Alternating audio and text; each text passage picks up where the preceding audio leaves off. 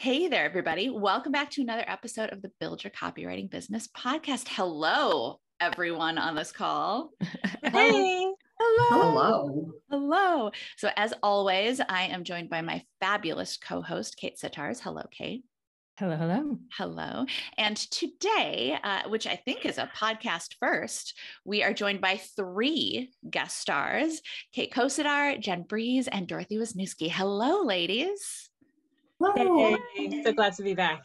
Yay.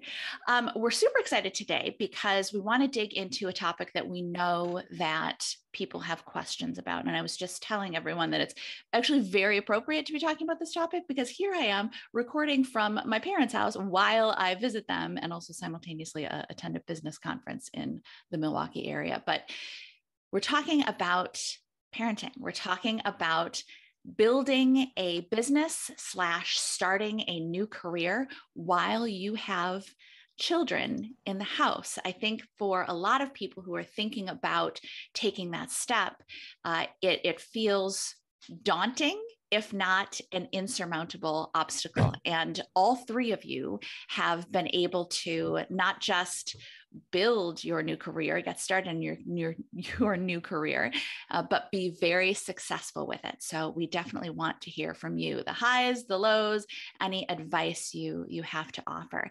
Um, so let's maybe start by giving a little bit of background. Um, Kate, if you want to start talking about, you know, giving us a high level look about getting into copywriting and also letting us know what, if you're comfortable, um, what your your family is like, kids in the house, all of that kind of thing. Sure. So I started copywriting um, in uh, July of 2019, and um, I have, you know, it's been about three years, a little over three years of building my business. Um, and I have four children. Uh, the youngest is five, and the oldest is 15. Um, we kind of have like two litters, sort of like so. There's two that are close together, and then a six-year gap, and then two that are close together.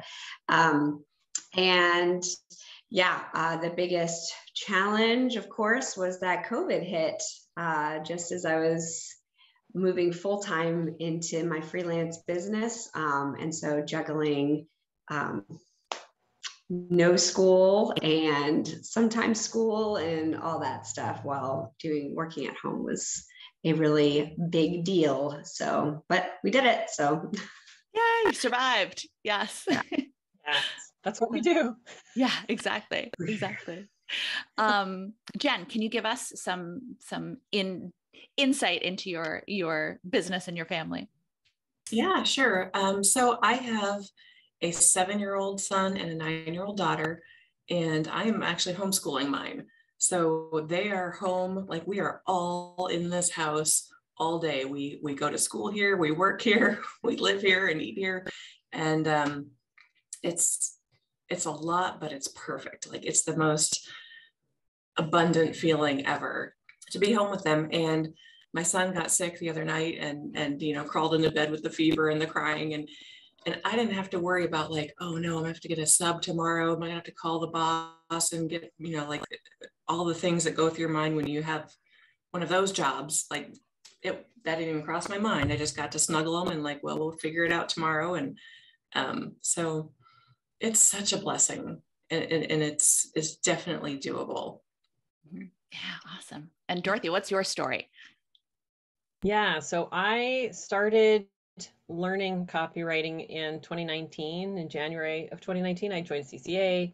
Um, and I came to it because I was disabled by a chronic illness a, a, few years before that, and I still am, but I was looking for a thing that I could still do. So I found the CCA and discovered that I really liked writing copy and started getting clients and building a business from there. Um, so for me, it's been great working as a freelancer because I can still prioritize my health and make decisions around that rather than having to follow somebody else's you know rules for what a real career looks like and maybe get sick maybe be healthy i don't know you know. Um so that's that's been great. And my my kids i have a 13 year old and an 18 year old so that's who i have at home. Fantastic. Now when you guys were thinking about getting into copywriting, thinking about a career change, what were your concerns, um, especially as relates to your families? I knew for for sure that I wanted to find a way to make money working from home. Like I wanted to be a stay-at-home mom more than anything in the world, and um, but we couldn't afford for me to just not have an income. So I tried like I tried different ways to make money. You know, I tried an MLM. I tried um, I tried doing um, teaching ESL for a company, you know, in in China, teaching little kids, and that was really um, very high expectations and very low pay and so that didn't really work out and i was just so grateful when i when i found a way to use my love for writing to create a, a really good income i don't i don't have like a dedicated office space so like right now i am i am plunked in the corner of my living room like i have a little desk area and this is my space but it's not like a dedicated space you know so if if you know, sometimes people think like I could never work at home, our house is too small, or what. Like people are doing this off their dining room table. Like it's it, you don't have to have the the typical setup. You know, you can make it work. And sometimes my kids are playing Legos just a few feet away while I work, and it's okay. Mm-hmm. It works out. For me, um, this is KK. Um, my previous job required that I travel all around the state. And so there were a lot of situations where um, and my husband's job currently also requires a lot, lot of travel around the state. Um, so it's very uh, odd schedules, and it started becoming a concern who's going to pick up the kids from the bus, like where, you know, um, who's, and they started to get older um, and doing extracurriculars and things like that. So that that's what was exciting to me about uh, having like a work from home job. And just like jen was sharing um, i looked at all those things uh, never actually did the esl teaching or anything because i am not a teacher at heart like you are amazing person jen. Um, but you know some of the concerns that i had uh, were really around finances. Like there's there's something um, that feels secure about having a salary or even an hourly wage. Um, um, and so the transition to uh, my salary job, it was not high paying. I worked for a nonprofit, so it was. Um, yeah, I make a lot more now. Um, let's just say that. Um, but the transition from that steady, regular, every two weeks, I got this set amount of money to I have no I well, it's not that I don't have any idea, but uh, it's not a regular occurring paycheck that magically appears in uh, in my bank account. Um, you know, so that was the biggest challenge. Um, and my husband, at the same time as I transitioned to, I think I've shared this on other during other conversations, but the same time I was transitioning to freelance copywriting, he transitioned out of his nonprofit salaried job into uh, a commission only sales job. So um, we both kind of went, okay, hopefully this works out. And um, it has, and it's been a lot of work and a lot of, uh, I wouldn't say it's been magical, but it has been transformative for sure. Being able to trust ourselves like that. Dorothy, did you have any concerns getting into it? As far as the kids went, I mean, I had some of the same concerns as as Jen with having a workspace where you know when the kids are not in school will i still be able to work um, it was a little bit easier for me than it probably was for kk because i didn't have you know kids under 10 at the time when covid hit and everything was at home um, but i live in an old house the way that it's laid out the one room that was available for a desk that i could work at is not an office space i literally don't have a door there's a curtain um, and I don't give office tours because like I also share this room with, you know, the coats and boots and some other stuff. But that doesn't stop clients from taking me seriously and paying me money. So like don't let that stop you.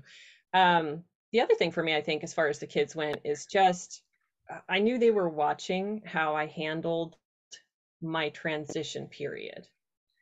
And they had seen me struggle with figuring out okay, who am I now that I can't be the same reliable mom that just made things happen before? You know, I was in charge of so many things. You know, how women end up being the household manager, even in egalitarian relationships.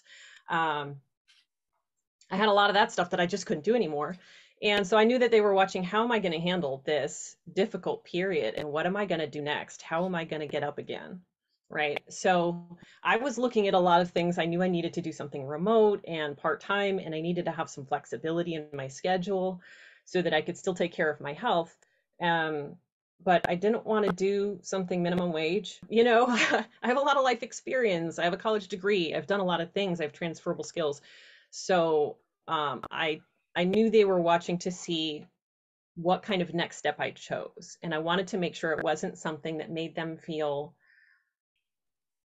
when you're in a difficult position, you just have to take what you can find. Mm-hmm. That you can actually make some choices to better your situation, even if you're in a situation like I was. So that was my biggest thing is is making sure that I was I was setting a good example for how to handle a really difficult situation Mm-hmm. Um, and also that I could still have a schedule where I could be there in the mornings and afternoons, you know, so I, I knew I wasn't going to be taking 7 a.m. meetings or 5 p.m. meetings because they needed me at those times, you know. So the the standard parents wanting to be present stuff that was also there for me. Mm-hmm. That's beautiful. I know Kate, Kate, you've talked about this similarly before of setting that example for your kids and showing them that you can do something else that's you know building a business that that's possible. I'm curious for all of you if if your kids have noticed that and what their reactions have been to say oh you know my mom's a bad um yeah for me i mean my kids are older than i don't i don't remember Jen, i'm sorry how old your kids are but i know my kids are older than kate k's and um, it's interesting because i mean my 13 year old he's a 13 year old so he's like he's there and he's listening but he's not always participating in the conversations. But he's definitely Got one of those too dorothy. yeah. So like he has a basic understanding of what what i do and, and so does my daughter. And it's actually funny because now um, well, it's not a recent development actually. Pretty early on when i was learning about copy and the tactics that make it really effective or really ineffective um, and then I started, you know, in that learning mode in the beginning, you're constantly looking at every single piece of copy that you see, which is all over, and you're analyzing it and you're picking it apart and saying what you would do better. Um, so I was I was doing that out loud, and my kids started picking up, and now they do that too. So every time they see a piece of marketing or a commercial or whatever it is, they're picking it apart and talking about you know how it's not into it's not written for the right audience you know and that kind of stuff and that makes me really proud. So i think um it's been fun seeing them sort of take in what i do and get an understanding of it and how they talk to other people about what i do. It's just been fun because i think i they've never said hey mom i'm proud of you but I think they are. Yeah, they definitely are, Dorothy. They must be. I mean, how could, ahead, they not, how could they not be really? Seriously. um, my kids, so they're seven and nine, and they think I'm like such a rock star. Like they, you know, when I when I make a, a you know land a new client or make a new deal, you know, like I'll go celebrate with them. Like I just made a six thousand dollar sale, and they're like six thousand. Yeah, that's what? the best. like, it's so much money. What? they think it's, so great, and and um, when we we just recently had a uh, vacation in the Smokies, and my daughter made a friend with some girl at the swimming pool, and I heard her saying, "My mom's a writer. She makes a lot of money." You know. True. I'll take it. it. Uh, yeah, I uh, what Dorothy was saying about the the reading copy out loud. Like I so many times I'm like, this is excellent copy. Do you see? And I'll just like you see how they did this? Like, look at this benefit. Like, isn't that super compelling? Let's just imagine you were this, the audience, you know, and uh, my teenagers are like very kind of eye rolly about it for sure. Um, but I have high hopes for my 13 year old Jonah. If you're listening, definitely uh, think Jonah would be a great copywriter. Um, but he's at a contrary stage. So, of course, he's not doing that. Um, but he has a way with words. So I remember the first dream client that I had, like, oh, I really want to work with this person. One day, uh, I was like on her list and blah, blah, blah. And I just really liked the company. Um, and I finally got up the nerve, you know, two years in to, to pitch her. And I landed the job. Like, I, it was amazing. Um, and I was just like on cloud nine and I was running like, like probably literally running around the house. Of course, this is during COVID, so they're all there. And uh, and I'm like, guys, I just like this is so exciting. And it's like an organizing company, so they don't care about like whatever I'm writing about necessarily, but they um, are gracious enough to at least pretend to be excited with me. And um, but it's fun to be able to share those wins and those moments with them but what I'm also careful to do, um, because I struggle personally with thinking everything should be easy. Like I want everything to be easy. And so doing hard things is, I mean, it's hard for everyone, but like I get real whiny sometimes about when I have to do hard things. Like I'm just whiny. Um, and so I try to share with them also the things that are hard and to frame it in such a way like you know, I overcame this um, fear or I overcame this uh, challenge or this obstacle. And, you know, whether I succeeded or not, at least I'm showing that I'm trying. And um, that's what I, I want them to see, like both those sides. And I think it's a real um, privilege to be able to, to show that from our house because they do like they see it uh, and and you know no matter what your career is whether you work outside the house or or whatever you do have those challenges and in those experiences to share with your kids. But the fact that i'm able to like be in the middle of all the action and so they're like they're getting that like real time like oh i can't believe i got this email or you know whatever it is um, it's kind of cool being able to and then like can relate their teachers are like their clients. That's what I tell them. so if they're like, I don't want to do homework or whatever, I'm like, but your client gave you a deadline. Yeah. so um, when they complain about that stuff, I can be like, yeah, I hear you. Do it anyway. mm-hmm. Mm-hmm. That's amazing. Well, and I think too, on both sides, right? There's so many opportunities to to parents have so many and are so good about celebrating their children and celebrating their wins and it's so beautiful that your kids are able to to whatever degree they're able to they're still kids to celebrate your wins. And what a beautiful sharing of of of emotion and and celebration and just beautiful. Um but i also love too that that it's so instructive to teach them yeah, stuff is going to be difficult. I'm going to do it anyway. You're going to do it anyway. And then we're going to celebrate on the other side. I think that's amazing. Um, we were talking yeah. a little bit earlier about um, about uh, about schedules and about office spaces um, often made out of places that were not uh, were never intended to be office spaces. And i think that that requires some some boundaries of yes mm-hmm. when mom is in this space i'm available. When mom is not in this space i'm not available. How have you guys drawn those boundaries? And have you had some challenges or, or any wins? What can you share I guess I can go first. So I, I have my spaces bounded by a curtain rather than a door. So I can't do the standard like the door is closed, don't bother me thing. But if the curtain is closed, they're not supposed to. It's complicated by the fact that this is where the coats are. So it's not a hundred percent foolproof. I still have people sometimes like peek in the curtain and be like, I'm heading out. See you later. And I just ignore them because they can see my webcam and I'm on a meeting. Um, so it's not perfect, but uh, you know, I, I tried to set expectations when I set up the space, be like, listen, here's what I need you guys. Uh, you know, let's just try to give each other the space that we need to do the things that we need to do. Um, and it's there was a learning period, I think, but I think we've worked it out pretty well at this point. I'm good at ignoring people because I'm a mom. Uh, if I if I just have to get things done, um, I'm good at tuning them out if they're just doing ridiculous things that don't actually need my attention. And then they're like, oh, okay, she's not responding. I'll go do something else.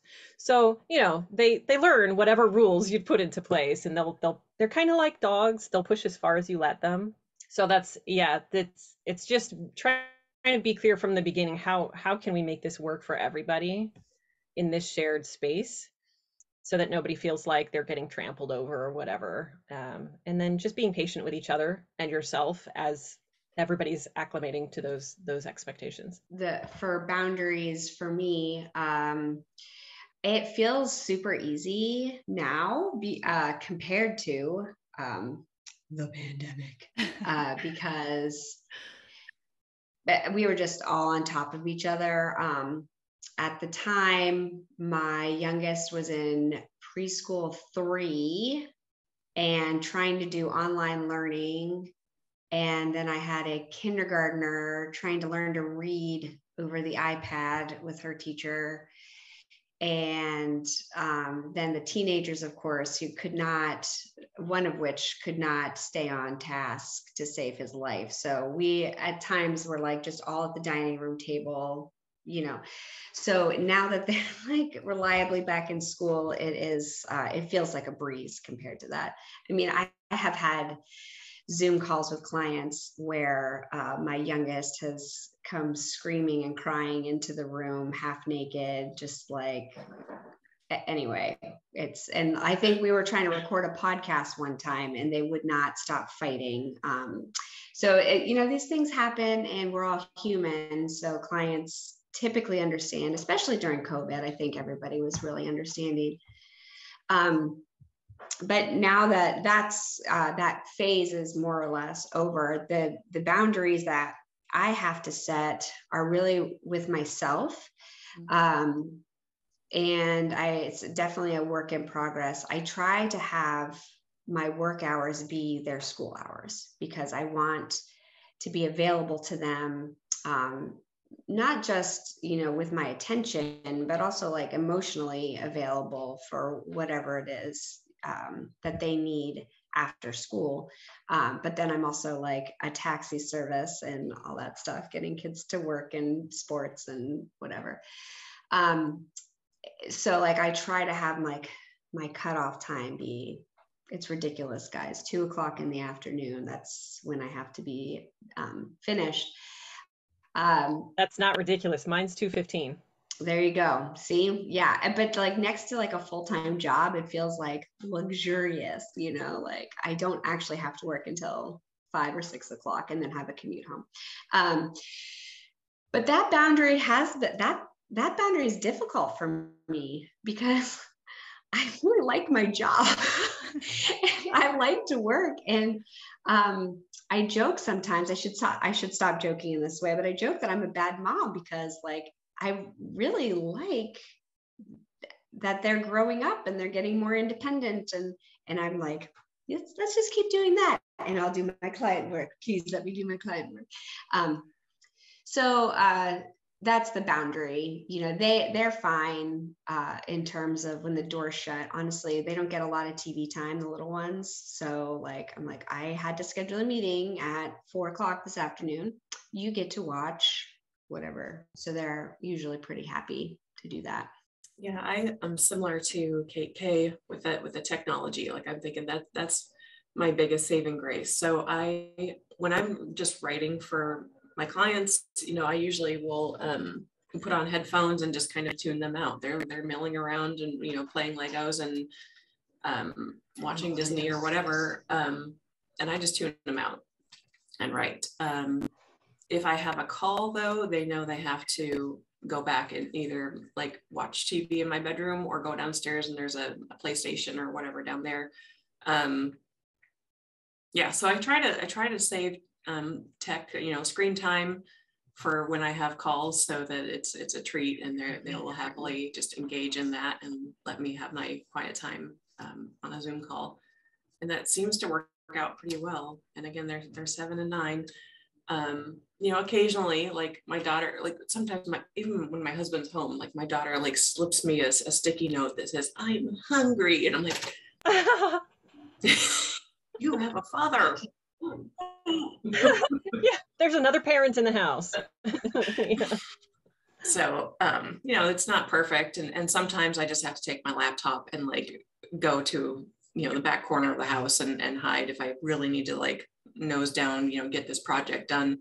I will remove myself um, and let them kind of have the rest of the house. But I don't know. We just you just make it work. Like you just come up with rules and you you know I just make it work. It's mm-hmm. not always perfect. But Does anybody else escape to a coffee shop sometimes just to like get out of the I've gone to my mother-in-law's a few times. Ooh, mm-hmm. that's that's something. I know a writer who used to go in the bathroom when her when her kids would just they had luckily they had more than one bathroom in their home but yeah would just go in there close the door and be like knock when there's an emergency but otherwise leave me alone mm-hmm. yeah bathroom is not sacred space in our house so that doesn't work for me I come in there like Kramer from Seinfeld, just exactly. yeah. What's going on in here? boundaries? What boundaries? This is all of our personal space. We share everything. can I um can I interject to push back lovingly on something Kate K said? The bad Uh-oh. mom comment because I was yes. gonna go there. So yeah, you go there. See, I said yes. it's a joke. I shouldn't make anymore. I'm trying I know, not but yes. you're still it's it's a use versus mention distinction. Yeah. It's very fuzzy, but I I think that makes you a good mom that they're getting more independent and that you're then able to take that mm-hmm. time and do other things rather than literally spoon feeding them everything that they need. That means you've done your job. Thank you. Your job is to raise them mm-hmm. so that they don't need you anymore. Yeah. So if they're already finding those steps that they can take on their own, that's awesome. You're all doing marvelously. And you're wonderful. Thank you for that cheerleading. Yeah. And Absolutely. to add on to that, as a person who has found a career that you love and that lights you up and gets you so excited, considering there are probably actually very a, a small percentage of people who find that i think it's admirable as well that you that you dive in and that, that you enjoy your career and you want to work you know there's nothing wrong with wanting to work especially it's something you love and what a great example because there's so many parents who go to work and they come and go oh another day at work. Oh i don't want to go into work. Oh yeah. can't wait for the weekend what what a much better example to have a parent who's like oh i love what i do. I can't oh this is so much fun. So that you raise kids who go that's something that i can expect. I can expect or or at least i can look for. I will pursue something that i enjoy as much as my mom enjoys her career. I think that's amazing and a wonderful example. Yeah that's something I actually wanted to talk about too. I, I literally wrote notes for myself so I wouldn't forget the thoughts that popped into my head while I was trying to sleep. Um, it's that, you know, so many kids are raised in environments where all of the adults in their lives have jobs that they hate mm-hmm. and they're stuck and they can't see a way to move on to something that would be better for them and their families. And I'm not in any way judging those people or saying that it's their fault or anything like that. Uh, circumstances are difficult, you know, and everybody is doing the best they can with what they have.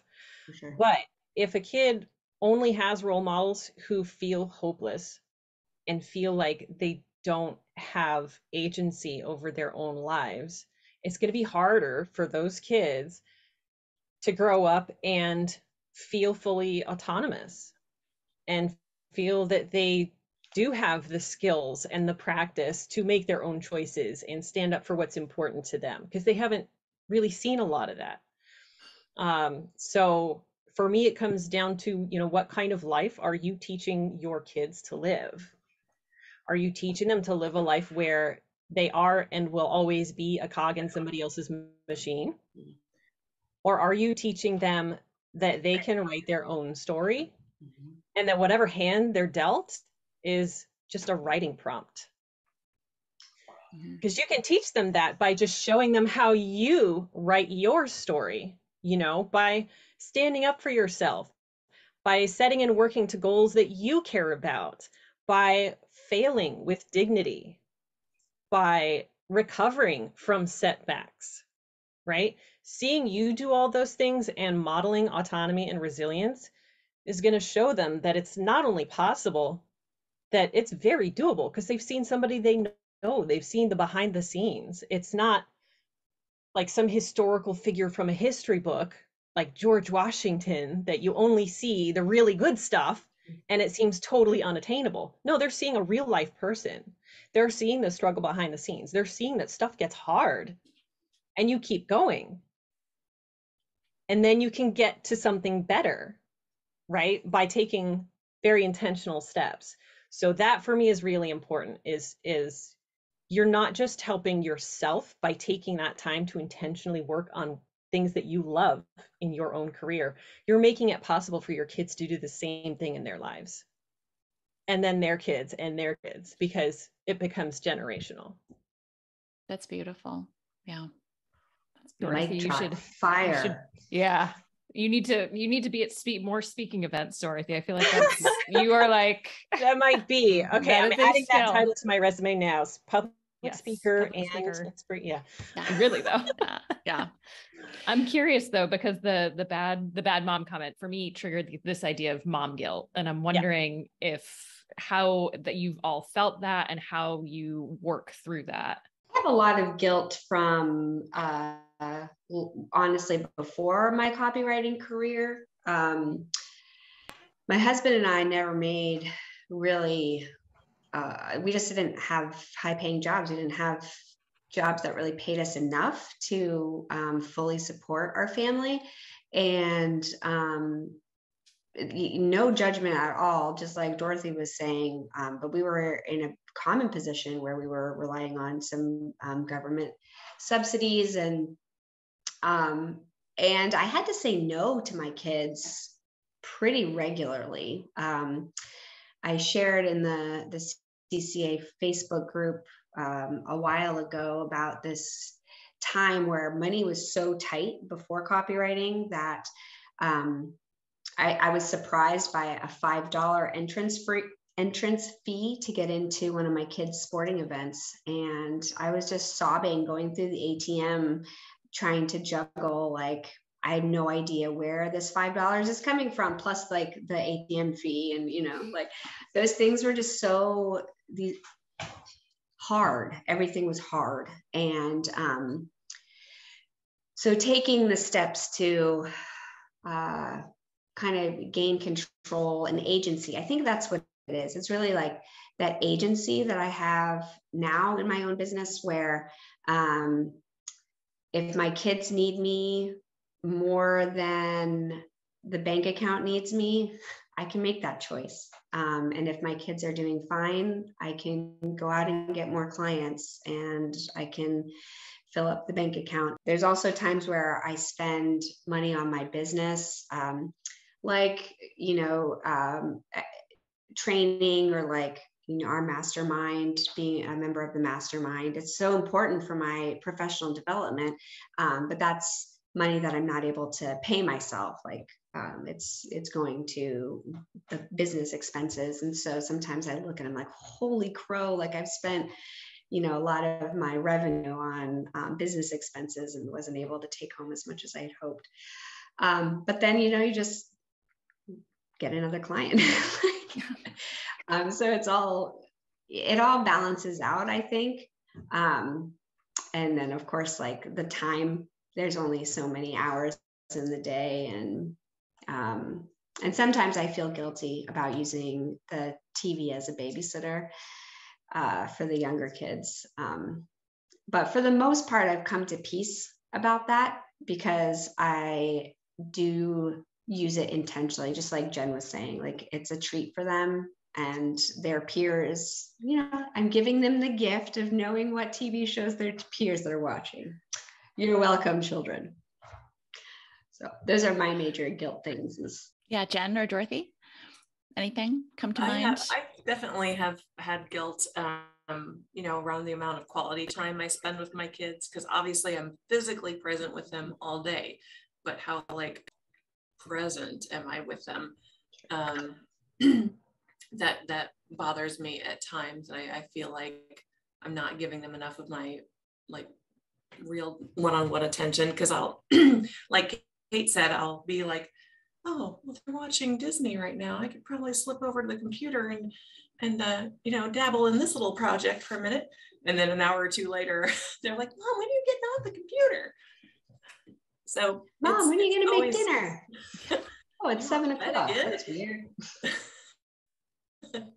um, yeah, so I do feel guilty sometimes um, about about you know giving my family my my focus attention and also the you know reinvesting my money into my business um yeah but it, i think just everything takes time like we we have these idyllic pictures in our mind of what it should be and it's it's i don't think anybody's actually experiencing those things so um yeah i mean I, there's definitely there's times where like i'm ruining my kids i should just send them back to public school and and um but usually i have a support system that will talk me out of those moments where i feel like i'm i'm just messing it all up and um yeah because my kids are really like sweet and happy and innocent and having a great life like they they got it they got it made you know I was a latchkey kid. I walked myself home from school yeah. and let myself in and watched Gilligan's Island until somebody showed up. Like, so it'll, it'll, be okay. Mm-hmm. It'll yeah. Be okay. We turned out better than fine. So, yes. Mm-hmm. Very true. Oh, goodness. Yeah. I, um, I feel differently about the mom guilt thing than I think a lot of moms do. Um, I, am not sure why, but I don't I don't feel guilty for working or for you know having my own ambitions or running a business that puts a little more pressure on me and sometimes I'm more tired in the evening than I would like to be. Um, but it it shows up in in little ways where a situation developed in a way that wasn't ideal so then you just find out how you're going to deal with that situation. So, um, for example, I've had a couple of weeks in a row where I had more meetings than usual. I was a little more carefree with my scheduling than I typically am. So that's my fault. Um, and I didn't want to just cancel everything on my calendar so that uh, I could go sleep for a week. Like that would have been great for my body, I'm sure. But I still have clients and I still have responsibilities. So uh, I've been more tired in the evening, and my 18 year old has been wanting to rebuild our vegetable garden. I used to be a really uh, serious organic gardener, um, and I had the, all these these raised beds that I built and I I put in all the amendments and I spent years developing these gardens. The last few years I haven't been strong enough to keep it up. So they've just been falling apart, literally. Um, you know, it's just weeds. Um, and my daughter was telling me, she's 18, and she's like, I've been feeling really nostalgic for having that vegetable garden and going out and just picking the snap peas first thing in the morning and checking for bugs in the squash flowers. And um, so she knows my situation. She's like, You shouldn't be doing any of the physical stuff, but will you help me if I rebuild the beds? And I'm like, Yeah so we've been taking you know chipping away at it a little bit at a time because it's a lot of work for basically one person nobody else is that interested in rebuilding the garden so it's pretty much her and i keep her company you know sometimes i can help out with the little stuff sometimes all i can handle is sitting and having a conversation with her but that's really what she's looking for mm-hmm. um, so i think a lot of times we we make ourselves feel guilty for not showing up in the way we think we should. But really, we all are showing up in whatever way we can, and it's it's not some uh, ideal circumstance that the kids are looking for from their parents. They're not looking for um, who's who's the best like June Cleaver. Nobody needs to be June Cleaver for their kids to be happy and fulfilled in their lives, right? They don't care about that stuff. They don't care how pretty your pies are. They don't care if you're always coiffed and always leave the house with lipstick on. They literally don't care. What they care is are you showing up for them? Mm-hmm. Right? If they want to hang out with you, are you able to do that? If they have questions and they want some guidance on something, can you show up for that conversation? Those are the things that they remember. They don't remember how many hours you work in a week or what your paycheck is at the end of that week. You know, it's that's not real for them. What's real is does this person care about me enough to you know meet me halfway and and show that show that they care about me not just say oh i love you. Are they demonstrating their love? And it's just the little things. Everybody just wants to be seen and heard and understood and loved as they are. If you're doing that for your kids you're doing your job. Even if you also have this other job that pays cash money. Yeah Amen. That's yeah. very well said. Yeah. Yeah. Jen, I know you mentioned having a support system, and I'm glad you mentioned it because I want to talk about what that looks like for all of you to have a support system. And I know it, it, makes me think of outsourcing as well. And if any of you have started to outsource anything, and I know guilt comes along with that as well to say, I need a hand with cleaning the house or getting the kids to school or whatever it is. So, what do your support systems look like? And that's a great question. So, uh, a lot of this I've learned through the academy and through the mastermind. Um, you know, because in the first year or two of my business, I got so driven, so focused on making this thing work that everything else fell apart. You know, like I'm not fell apart, but like my health, I wasn't working out. Um, I wasn't making time for friendships. I wasn't prioritizing things that normally I would have. So, um, you guys have helped me learn how to, you know, block out my time. And so when I look at my calendar on a Sunday night, I put in the non-worky things first, you know, like my kids stuff, my massage, my nails, my um you know, just whatever. Like if there's a mom's night with my homeschool co-op, like that has to be a priority now because I will isolate myself and and to my own detriment, you know. So prioritizing those things and blocking those in first and then fitting in work and Zoom calls and stuff around that.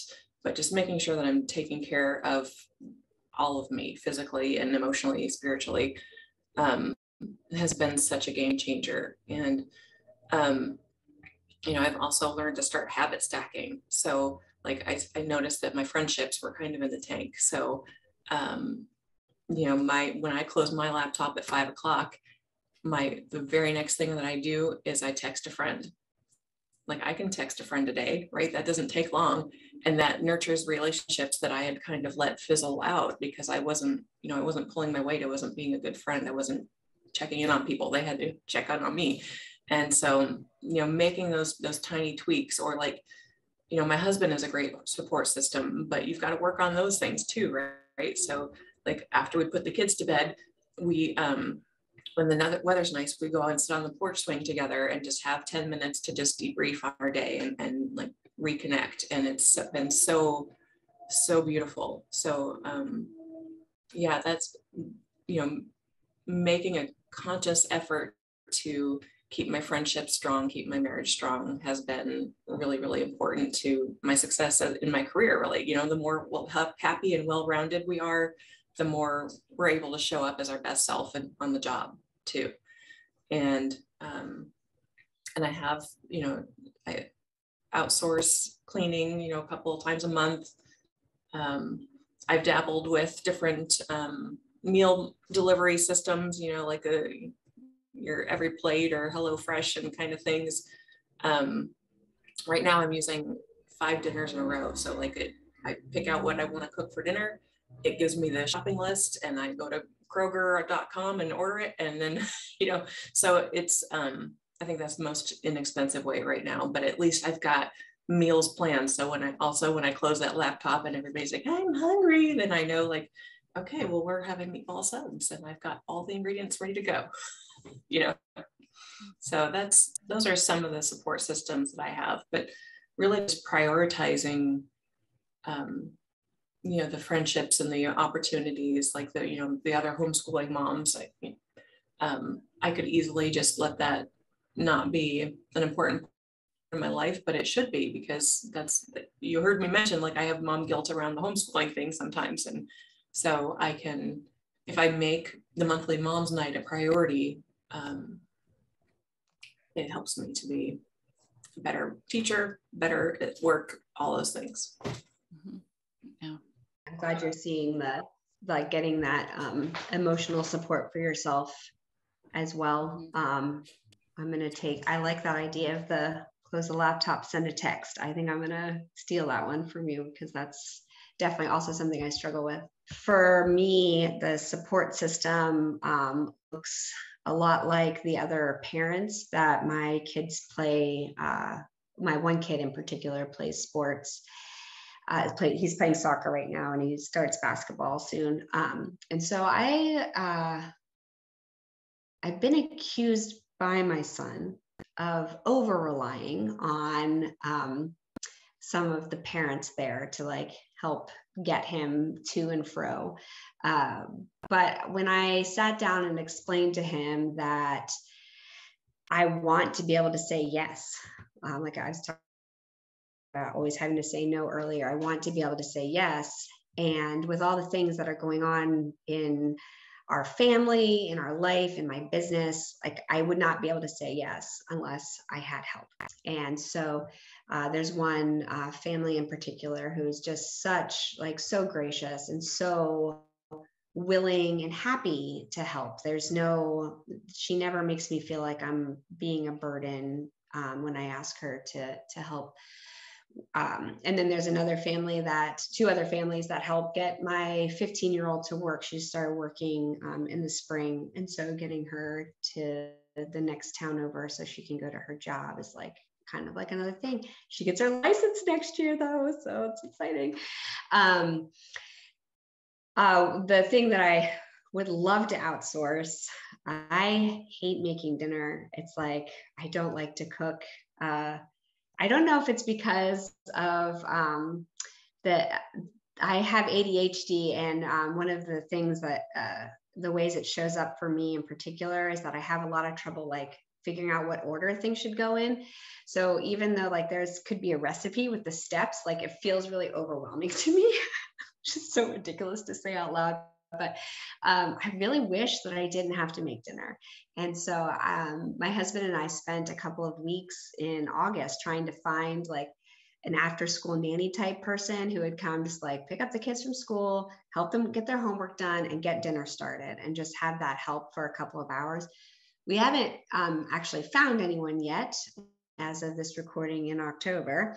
Um, so there have been times that um, it's I, have you know been working on it up on a deadline or had a later meeting and literally six o'clock rolls around.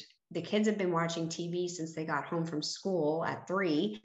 And i'm like oh cuss word. Like we i like i know what i'm supposed to make for dinner because i am very committed to meal planning and trying to make it easier for myself. Um, but there's no time to make it. So sometimes the outsourcing just means, you know, a Chick fil A run or McDonald's or a pizza or, you know, and um, yeah. And I use my children. Um, Jen mentioned the cleaning service. That's like, that would be awesome. I'd like to do that. But I have four children, and two of them are like definitely old enough. So we've instituted a Saturday morning clean day. And so I outsource a lot of the cleaning to them. Um, they're in charge of cleaning the bathrooms and the litter boxes and da da da da da. Um, and it is not perfect, right? Like when your hired help is, are 15 and 13 and seven and five, like it's not going to be perfect. So that's okay. So there's like that balance of outsourcing and being okay with it not being maybe the ideal situation. I love that. I need to get better at that. outsourcing the things to the to the kids we used to do that a lot each kid had their assigned things that they would do every single week and it worked great and then the pandemic happened mm-hmm. and we were all so exhausted so honestly standards fell mm-hmm. like pretty far like a uh, rock uh, the bottom of the yeah we just you know we used to pay attention to screen time. We used to all eat dinner at the table every night. There were all kinds of things we used to do. And then just so much, just just so many hard things with the pandemic, with them struggling with not seeing their friends, with you know, trying to figure out, you know, my son was in jujitsu classes at the time and they were all doing it on Zoom and that was really hard. And like, you know, just the weight of all of the changes and all of the decisions and all of the figuring out new puzzles you never thought you were going to have to figure out. Um, yeah, we let a lot of things slip. Um, and we haven't fully pulled back on some of those yet. So I should, I would, I would love to get better at having the kids do their chores more regularly again. Um, Sometimes my daughter, the 18 year old, will offer to make dinner, which is fabulous. Um, she now works at a local restaurant, so she's picked up all kinds of skills and she's excited to share what she's learned. And I'm like, awesome, have at it. um, I'm actually not the cook in our family, so I kind of hit the jackpot there. Uh, my husband had worked food service and managed a restaurant before we met. So when we started living together, he was just the default meal person. I was like, absolutely, I'll let you cook the dinners. That's fine. I'm happy to have leftovers for lunch. That's cool. Um, so um, that's something that I don't have to do. But with the pandemic and all of the compounding stressors that came about because of that, it, that got harder for him to keep up with the meals and everything. And and I'm not just gonna come in and tell him how to manage that. So we do end up ordering a lot of delivery and so we that's a service that we pay for that's that's one thing that we do outsource is we pay for the privilege and the convenience of not making dinner more often than we should it does add up but um, you know it's you try to support each other as you can and be patient with each other and compassionate with each other because we are all still trying to come back from all of the stresses of the pandemic mm-hmm. and it's affected people not just emotionally but physiologically mm-hmm. Yeah. and it's going to take a while for us to feel normal again i think and i don't think there's anything wrong with that it, it but it helps to be realistic um, and kind with yourself and with each other um, because it's it's really easy to say well uh, you know we're not we're not where we were before. This isn't good enough. We need to do xyz but if it's not realistic if it's not kind to where you actually are that's not going to help anybody. It's only making things feel worse and making it harder to make real progress. So um, I, I think you know whatever support system you have cherish it and and treat it with care. Um, because we need each other. We're social animals. We're not we're not built to do this alone. And you know, whether you have kids or not, whether you have a business or not, it, you're doing hard things. Mm-hmm. You know, so we need each other. Yeah, that's so just, beautiful. You do what you do what you can, show up how you can, mm-hmm. and um, you know, be there for each other. That's beautiful. Um, this has been fantastic. And I know that we have already taken up uh, an hour of your time, so much appreciate it. But if you had like just a very quick, you know 15 30 second piece of advice to give to someone who is either considering getting into a new career or or just kind of starting it out what what would you what would what would you tell them who is a parent stick with it through the hard beginning um, my husband calls it the train uh, so a train takes a really long time to get up to speed. Um, and if you can, if, if you want to, to be a copywriter, you want to freelance, um, stick with it through that slow time and it will pick up speed and you will eventually be cruising right along and everything is gonna everything will work out if you work at it yeah i agree it just it take it you know, in baby steps, little baby steps. You don't have to like quit your job and, and go full, you know, you can, you can dip your toe into like getting a client on the side and figuring out how you're going to manage the family life on it it's just trial and error. I, I, think everyone on this call we just we just fail forward you know if we we either do something successfully or we learn from it. Those are the only two things that happen. We learn and we just tweak and adjust and move on and um, you know so if things feel hard in the beginning you're not doing it wrong it's not a sign that you're not cut out for this it it's hard for all of us and you just um, just keep readjusting and and figuring out what works for your family. Totally i love that fail forward. That's yeah. kind of what we have to do just all the time. That's how you keep making progress. Mm-hmm. you're going to be constantly failing and messing things up but which direction are you going to keep going when you're done with that right? Um, i think for me if if if you have kids and you're you're not sure you can take on like one more thing on your plate so a lot of times it's a question of i feel so overextended already. How can i possibly put any more energy into another thing? Uh, i think it's important to remember that the amount of energy that you have to show up for the things you've committed to is going to be different if you have things in your life that you love. So a new thing might feel really big and it might feel like a big gamble with your energy. But if it's going to be something that fills you up, that feeds your soul, that makes you feel amazing, because holy, you have a career where you get to do fun things for strangers you met like on the internet who live thousands of miles away and they pay you good money for it.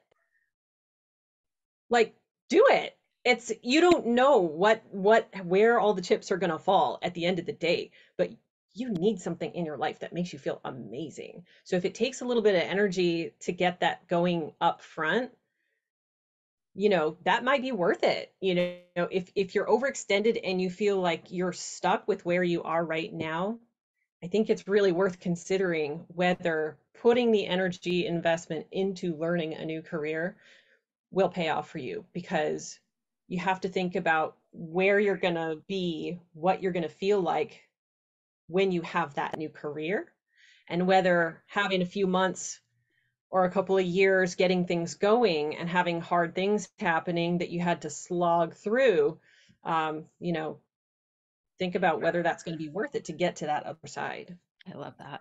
Thank you all again so so much. Um, i know i've i've gotten a lot out of this so i think hopefully both parents and and non-parents i hope listen to this because you all have so much great advice uh, to share with us. So thank you again for sharing your time, your energy. Um, and with that, we'll catch everyone in the next episode. Thanks for having me back. It's good to see everybody. Like what you heard? Hit subscribe so you never miss a video. And if you're ready to take the first step toward becoming a copywriter yourself, sign up for a free video training right here.